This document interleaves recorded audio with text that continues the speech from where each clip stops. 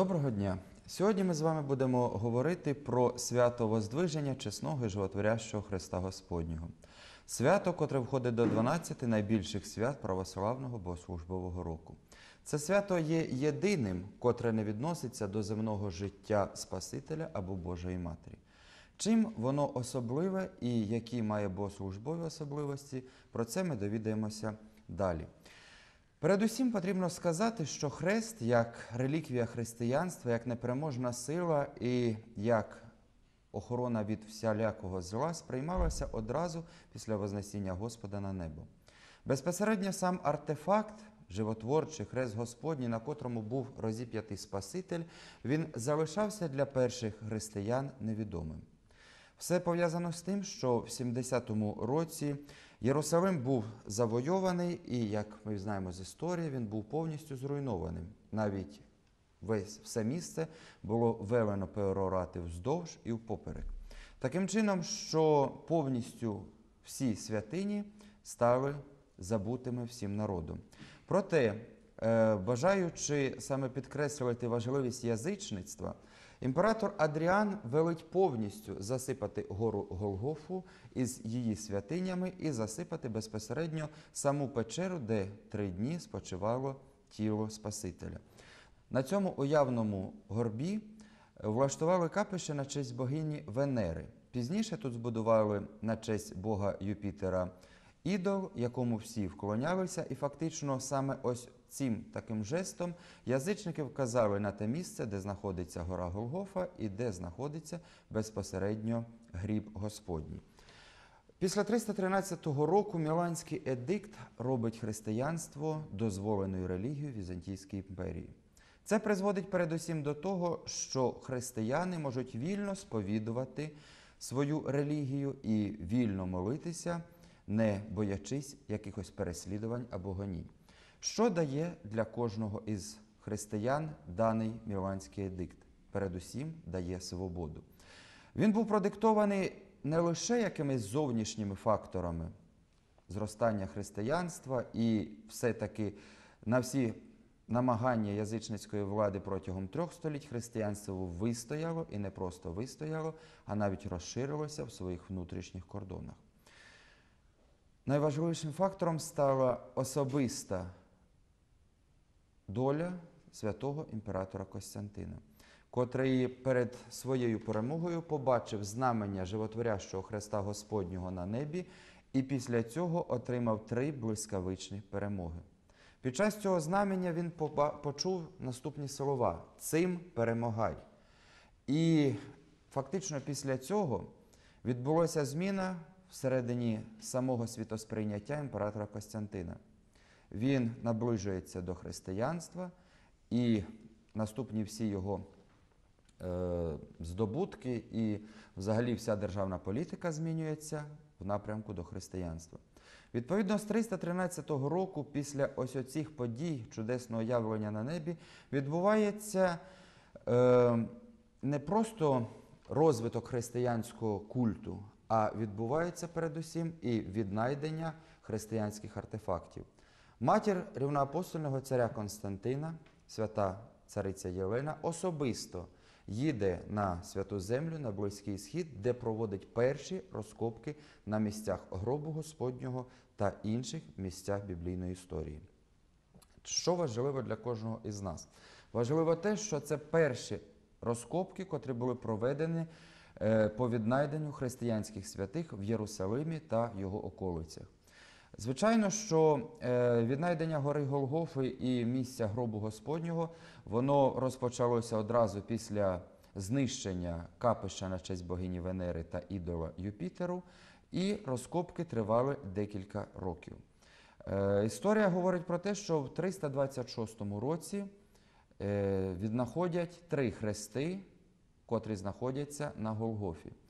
Саме процесія із покійником проходить цей час повз розкопки, і по молитві всіх тих, хто е, був у розкопках, намагаються віднайти, який з цих трьох хрестів є саме Христом Спасителя. Серед трьох хрестів лише після дотику до останнього мертвець оживає.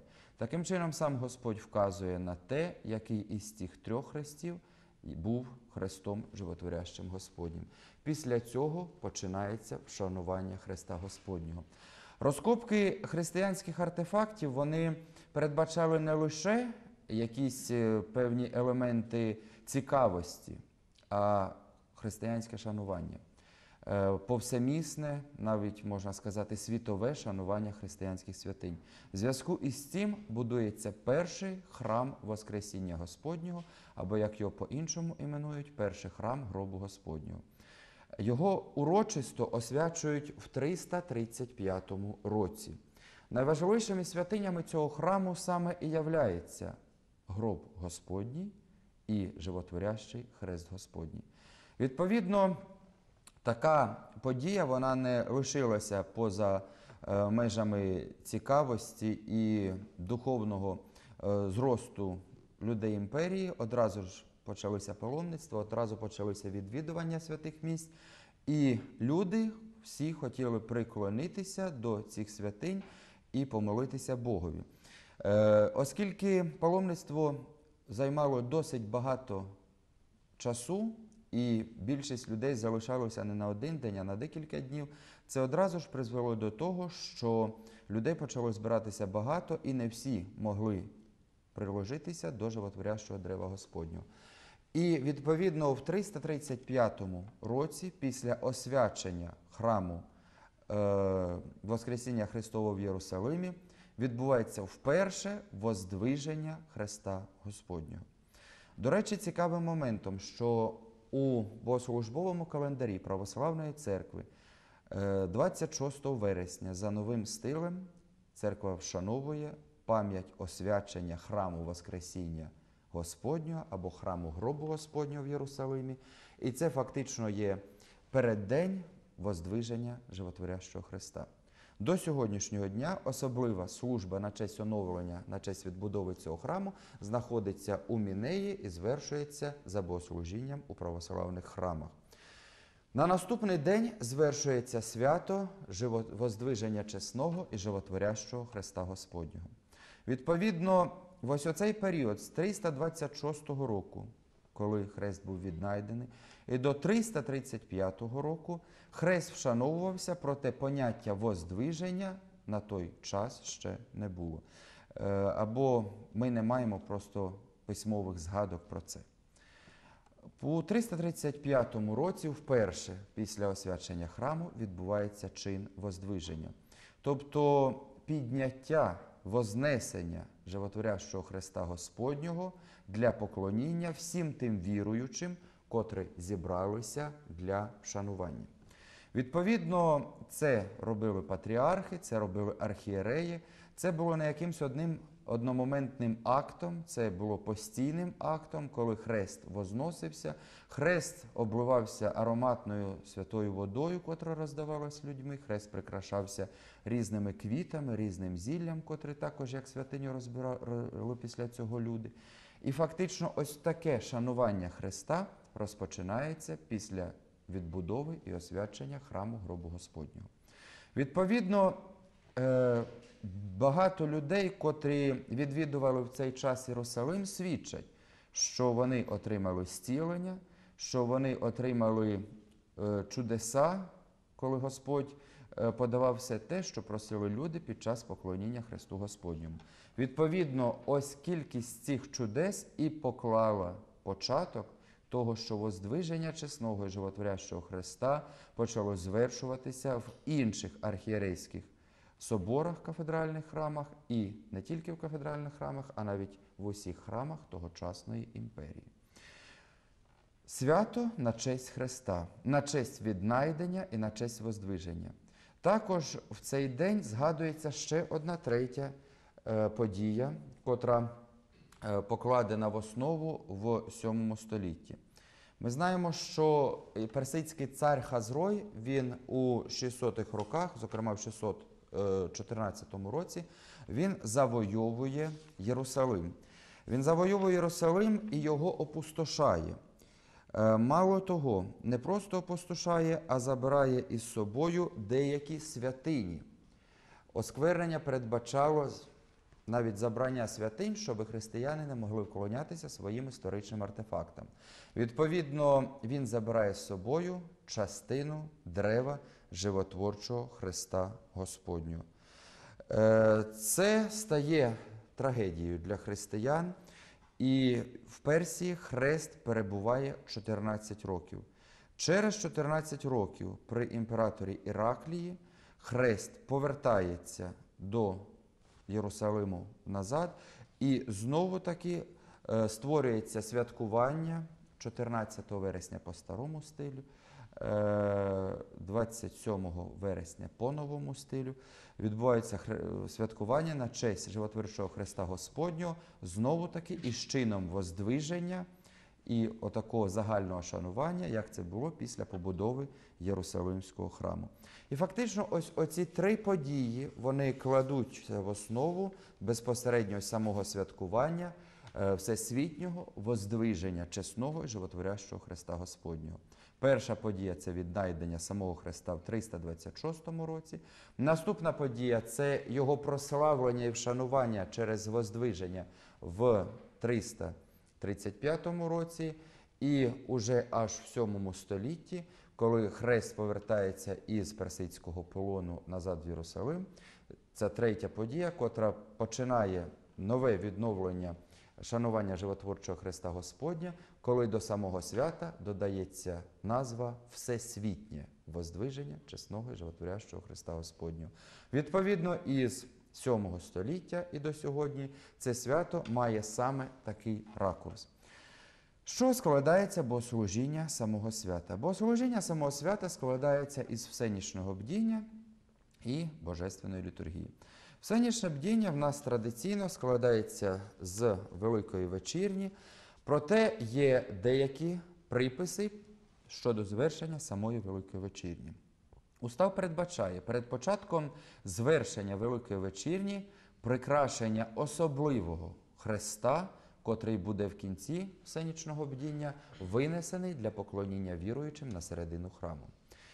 Е, Устав передбачає використання не звичайного хреста, а особливого хреста, і навіть прописується його матеріал. За бажанням він повинен би бути саме дерев'яним, оскільки навіть своїм матеріалом повинен вказувати на той матеріал, на якому був розіп'ятий Господь наш Ісус Христос. Відповідно, цей хрест особливо прикрашається квітами і покладається на жертовник. Біля жертовника священик разом із дияконом звершують початкові молитви і підспів Спаси Господі, люди Твоя, слава і нині, кондак свята вознесися на хрест волею. Хрест переноситься із жертовника і покладається на престол. Покладається на престол на те місце, де зазвичай знаходиться Євангеліє. Після цього перед ним поставляється свіча, і хрест знаходиться на престолі протягом всього всенічного бдіння. Хрест тричі обкаджується довкола престола і перебуває там аж до великого словослов'я. Говориться в уставі також і наступне, що всі виходи, котрі бувають на поліелеї, вони не звершуються на центр храму, а звершуються в алтарі заради того, що на престолі знаходиться хрест животворящий. Розпочинається всенічне бдіння, як завжди, кадінням під спів 103-го псалма, котрий співається хором, і в цей момент згадується створіння всього світу і блаженне життя прабатьків у раю. Далі на Господи возвах устав передбачає виконання трьох стихір, котрі виконуються на вісім. В цих трьох стихірах саме і звертається увага боголюбивого народу на ту подію, котра відбувалася в IV столітті. Крест воздвизаем, на нем вознесенного страсть пречистую, пети повелевает тварі всей. В самій першій стихірі, самими першими рядками одразу зосереджується увага всіх богомольців не на поклонінні Христу як якомусь неодушевленному предмету, а передусім на поклонінню Спасителю, котрий приніс себе в жертву е, звершивши свій викупний подвиг, і саме в ракурсі страстей Господніх розвиваються всі богослужбові тексти воздвиження Христа Господнього. Звертаючись до Христа, неодноразово у богослужінні даного свята ми чуємо звернення до нього як до живого предмету, як до живої істоти. Ми звертаємося до нього, звертаючись, радуйся, животворящий Христе Господній, ограждай нас, животворящий Христе Господній, і допомагай нам, животворящий Христе Господній. Чому саме так звертається православна церква до Христа, до предмету, котрого воодушевляє і робить живою істотою? Звичайно, що це є е, красивим поетичним зверненням. Ми знаємо, що ці тексти писалися в 7, 8, 9 столітті. Відповідно, це золотий вік патрології, коли наповнюється богослужіння текстами прекрасних гімнотворців, е, золотоустів свого часу. Відповідно, в цей час досить широко розвинене богослов'я і саме піснеписство у Візантійській імперії. Тому саме ось ці тексти вони наповнені багатьма алегоріями, котрі досить часто ми вживаємо у богослужінні. Не лише це притаманне зверненню до Христу. Е, Коли ми подивимося е, навіть псалтир, то ще в Старому Завіті цар пророк Давид пише подібні речі. Він говорить: е, Фавор і Єрмон о імені Твоєму возрадуються. Тобто гори мають радіти про ім'я Господнє. Взиграйте гори і холми, так само говорить піснепісець. Звичайно, що ми розуміємо, що це неможливо. Проте даний такий зворот він підкреслює особливу торжественність, особливу пишність. І деякі святі отці навіть говорять про те, що звертаючись до Христа як до е, істоти живої, ми підкреслюємо особливе ставлення до Христа як до знамення життя. Хрест, котрий був до цього оруддям смерті, оруддям позору, стає сьогодні для всіх християн знаряддям життя, життя вічного, оскільки він є просякнутий кров'ю Христовою. І у стихирах на Господі возвах неодноразово ми чуємо е, саму суть свята, окреслюючи її у наступні е, літературні рамки. Звертаючись до Христа, говориться: на том, бо убів нас убившого, умершленне оживів єсть. Тобто, звертаючись до Христа, знову підкреслюється особливе знам'я і особлива місія безпосередньо Христа, оскільки на Христі Господь убив нас убившого, тобто переміг диявола, переміг е, вірії пекла і переміг всю ту владу пекла, котра була над всіма людьми після гріхопадіння Адама і Євою. Відповідно, Господь на цьому ж хресті нас, людей, оживляє і удобряє нас, щоб ми сподобалися жити на небі разом із ним. Наступна стихіра говорить про те, що Моїсей проображає хрест через свої руки. Яким чином? Ми знаємо старозавітню історію про те, як е, богообраний народ завойовував народи землі обітованої. Відповідно, е, різні були бої, і в деяких боях е, Ізраїль одразу міг завоювати племена, в деяких боях це було досить важко. І от, відповідно, з амалякітянами дана ситуація була досить складною, оскільки їх було більше, і вони були більш оснащені, більш укріплені. Відповідно, Моїсей підніс молитву до Бога, щоб Господь дав йому допомогу. І е, Старий Завіт нам говорить про те, зокрема книга Вихід, що Моїсей підняв свої руки до гори, і відповідно в той момент, коли Моїсей піднімав руки, то перемагав ізраїльський народ, коли він їх- опускав із-за того, що руки просто фізично е, затерпіли, відповідно перемагали амалікітяни. І ось оця поза Моїсея з піднятими руками, вона фактично також є зображенням прообразом Старого Завіту Христа Господнього.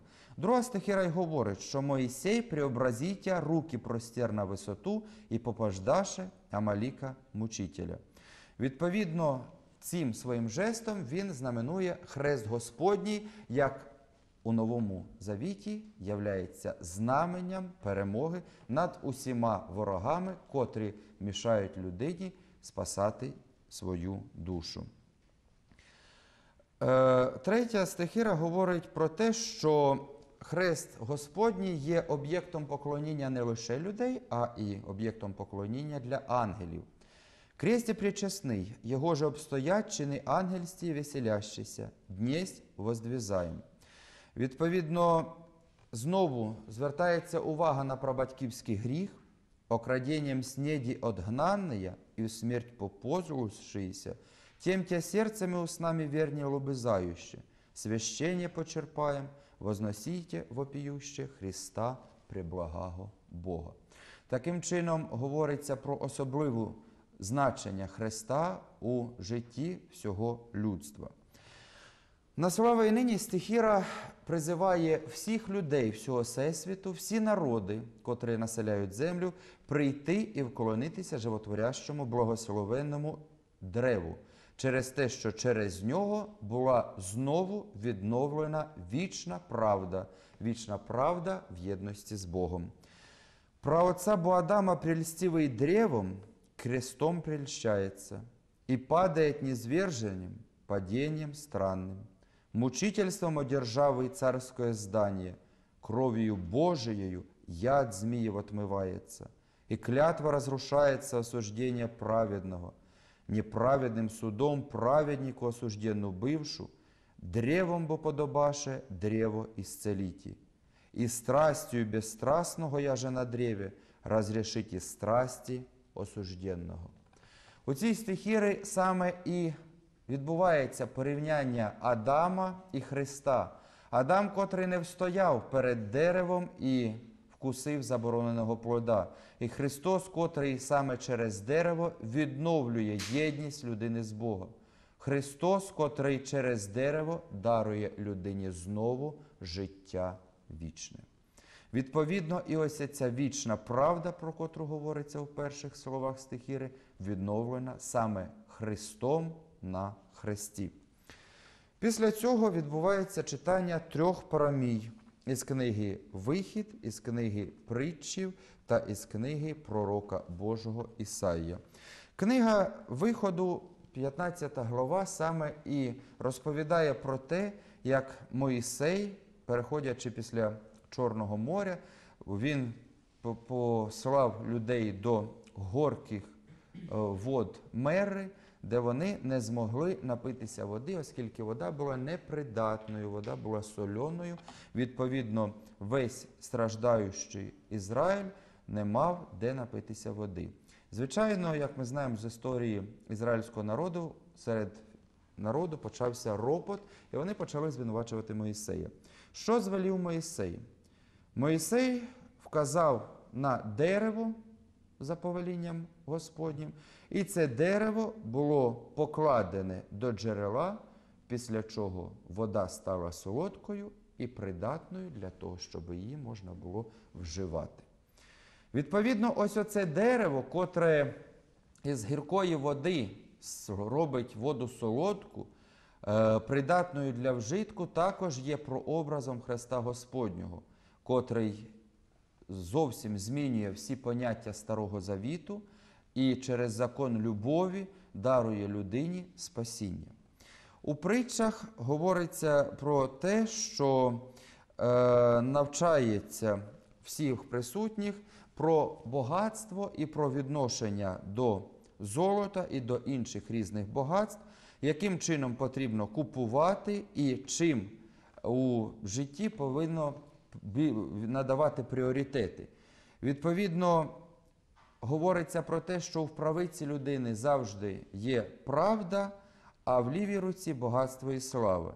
І відповідно в такому варіанті дерево життя, за котре держиться кожна людина, воно восклоняється на людину і тоді людина має від Господа підтримку тверду. Знову таки підтримкою для людини є дерево Господнє, хрест животворящий. І е, парамія пророка Ісаї, це глава 60, говорить про те, що відкриються ворота Єрусалимські, і вдень, і вночі не будуть закриватися. І до цих воріт будуть іти всі народи і всі царі, котрі знані по всьому світові. І вони будуть працювати, і будуть зовсім різні зміни серед цих народів.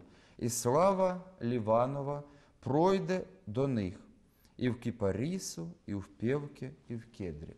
Досить цікавим моментом є те, що саме ці три дерева Кіпарис, Кедр і Певк, вони за святоотцівською традицією відносяться саме до тих трьох дерев, з яких був складений саме животворчий хрест Господній.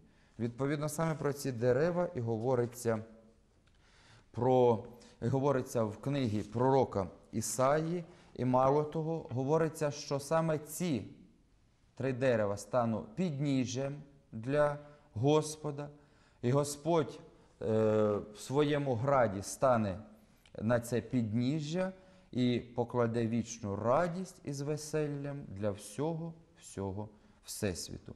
Фактично говориться про хрест Господній і про те, що в Єрусалим прийдуть всі поклонитися цьому животворящому древу. На літії досить багато стихір, котрі е, повествують про події саме воздвиження животворящого Христа Господнього і про те, яким чином потрібно молитися і звертатися до животворної сили Христа. Також е, домінують тут старозавітні прообрази, зокрема, в третій стихірі говориться, прообразує крест во Христе патріарх Іаков внуком благословення дарує на главах переміни руки сотворі. Коли патріарх Яків благословляв е, своїх е, онуків, благословляв своїх е, нащадків, то відповідно він благословляв їх хрестообразно, схрещуючи свої руки і кладучи їх на голову. Відповідно, в цьому також є старозавітний образ благословіння і призивання Христа Господнього. Також говориться про те, що е, святе древо Христа, котре перебувало в землі і було закрите від поклоніння, е, воно порівнюється навіть із самим Господом, котрий також був закритий в недрах землі під час того, як його тіло перебувало у гробниці до його славного Воскресіння. І потім хрест животворчий воссіяв, звіщуючи славу Воскресіння всьому світові, заради того, аби всі насолодилися цією славою і, прибігаючи до Христа Господнього, отримали спасіння. Е, Також слідує відмітити, що у цих стихірах е, домінує ім'я цариці Єлени. Чому цариці Єлени? Ми вже вище сказали, що саме вона була відповідальною і особисто вона дивилася за розкопками і давала вказівки по розкопках і по побудові храмів на святій землі. Відповідно, її ім'я неодноразово згадується під час цього богослужіння як тієї, котра явила для світу неіссякаєме сокровище, котре явила для світу животворчий хрест Господній. На стиховні стихіри розповідають нам історію воздвиження, і ось саме тут е, всі віруючі звертаються до животворящого Христа Господнього як до одушевленого предмету, як до істоти. Причому саме в цих стихірах ми чуємо, що для християнина є хрест, чим він являється, і для чого ми прибігаємо в його допомозі. Радуйся, живоносный кресте, благочестие, непобедимая победа, дверь райская, верных утверждение, церкви ограждение, им жетля разорися и упразднися, и попрася смертная держава, и вознесохомся от земли к небесным, оружие непобедимое, бесов сопротивоборче, славу мучеников, преподобных, яко воистину удобрение, пристанище спасения – дарує мірові велію милость. Ось саме ця перша стихіра, вона повноцінно описує християнське відношення до Христа Господнього, його значення в житті церкви і його значення в житті кожного християнина. Окрім того, що хрест є для нас славою, він є непереможною перемогою. Він є саме джерелом перемоги. Іменується він також дверима раю. Чому? Через те, що саме через хресну жертву Господь відкриває всьому людству двері до раю. Вірних ствердження і церкві ограда. Таким чином, саме хрест є оградою церкви, оскільки хрест є тією силою, котра об'єднує всіх християн, і довкола якої будь-які християни вони гуртуються. І, до речі, цікавим є моментом те, що історія християнства знає досить багато розколів, досить багато єресей. Проте жодна із древніх єресей не відкидала вшанування Христа Господнього. В новітній час фактично тільки свідки і Єгови говорять про те, що Христос був розіп'ятий не на хресті, а на стовбі, на древі. А фактично історія всього християнства вона говорить про те, що незважаючи на розколи на Єресі, незважаючи на різні конфесії і двохтисячолітню історію, були гоніння на ікони, були невизнання мощей, було досить багато всього. Проте хрест ніколи не піддавався анулюванню або якомусь богословському переосмисленню. Також хрест іменується тим, через що розоряється тля. Що розуміється в стихірі під тлею? Тля це все те, що може знищити будь-що земне. Досить часто тлею духовною іменується гріх, котрий знищує людську душу. Відповідно, тля розоріся і упразнійся в даному випадку іменується саме гріховність, первородний гріх Адама, через який, через який і фактично гріх діє у світі. От, відповідно, Господь омиває своєю кров'ю гріх Адама. Він дарує всьому людству позбавлення від оцього заразності тлі, котра все розоряє і все знищує. І саме через хрест попирається смертна держава. Під смертною державою ми розуміємо, що це значення воно відноситься в лапках, оскільки саме смертна держава вона не є чимось об'єктивним. Це богословський такий зворот, в якому ми розуміємо володарювання смерті над людиною і неможливість людини увійти в Царство Небесне, як це було в Старому Завіті. Далі говориться про те, що саме через хрест людство восходить від землі на небо. Тобто хрест є певним, е, можемо назвати трампліном, за допомогою якого людина піднімається до духовного е, вдосконалення і як наслідок до спасіння душі. Відповідно, саме за допомогою Христа вона і восходить від землі до неба. Також іменується е, оружием непобідімим. Чому саме так? Даний зворот він е, розпочав вживатися в церковному обиході ще із часів Костянтина е, Великого, оскільки після його чудесного знамення на небі і голосу цим перемагай, саме хрест і став тим непереможним оружием, за допомогою якої, якого передусім християни борються із ворогами душі, із гріхами, із темними духами, і в тому числі неодноразові перемоги християнського війська над завойовниками, також вони звершувалися за допомогою Христа Господнього.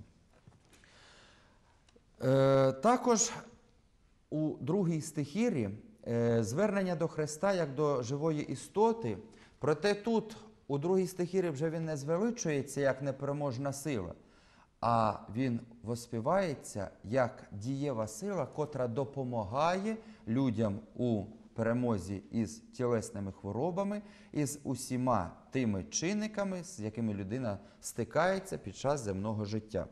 Радуйся, слепых наставниче, немощных врачу, воскрешение всех умерших, воздвигни війни в падше, кресті чесний. І далі знову таки говориться, що саме через е, возносення, воздвиження животворящого Христа Господнього історично не лише в IV столітті, а протягом багатьох інших століть християни отримують зцілення. Е, Слідує відмітити, що е, ідея старозавітних прообразів Христа Господнього вона йде красною ниткою через повністю все богослужіння. І на славою нині ми знову повертаємося до прообразів Моїсея, котрий допоміг Амаліка, е, до царя пророка Давида, котрий у Псалтері говорить, що потрібно поклонятися подножию ног Христа, в чому також ми бачимо Христ Господній. І звертаючись сьогодні, призиваються всі вірні до поклоніння животворчому Христу, е, фактично стаючи на рівень поклоніння Христу від е, Старого Завіту, де це були прообразами, через Новий Завіт, через апостолів і святих отців до сьогодення. Завершується вечірня е, благослітією з благословінням хлібів, на якій співається під час кадіння тричі тропар свята. Тропар свята звучить наступним чином: Спаси, Господи, люди Твоя, и благослови достояние Твое, победы на сопротивные даруя, і Твоє сохраняя Христом Твоїм жительством. Оскільки святкування на честь животворчого Христа Господнього, воно е, було встановлено саме під час піднесення імператорської влади та сакралізації імператорської влади Візантії, то даний тропар до е, революційний період навіть на наших теренах мав дещо інший вигляд. Співалося побєди православному імператору нашому. Відповідно, побєди на що? Побєди на враги. Е, За рахунок чого? За рахунок того, що хрест як переможна сила і на демонів, і на гріхи, так само переможна сила на всіх тих супостатів, котрі восставали проти християн. Відповідно, ось така частинка вставка в тропар, вона існувала фактично 7 століття і в тих е, християнських країнах, де була монархія, аж до повалення цієї монархії. Після того, як е, монархія була повалена, досить часто замінялися ці слова словами побєди православним християнам на сопротивне дарує. В принципі, такий варіант тропаря також вживається сьогодні в нашому обиході. Е, Після співу тропаря вечірня завершується благословінням безпосередньо хлібів, трикратним співом будь ім'я Господнє і виконанням 33-го псалма. Таким чином, вечірня всенічного бдіння завершається благословінням хлібів і співом тропаря. Хрест залишається на престолі аж до моменту, коли він буде винесений в кінці утренні. Всенічне бдіння воно звершується із двох частей: це вечірня і утрення, котрі поєднані і в древності звершувалися протягом всієї ночі. Ми з вами говорили про історію свята Воздвиження Животворящого Христа Господнього і про традиції і безпосередні уставні приписи звершення вечірні на всенічному бдінні. На цьому наша лекція завершена. На наступній лекції ми з вами поговоримо про утренню та божественну літургію у свято Воздвиження чесного і животворящого Христа Господнього. На цьому все. До побачення.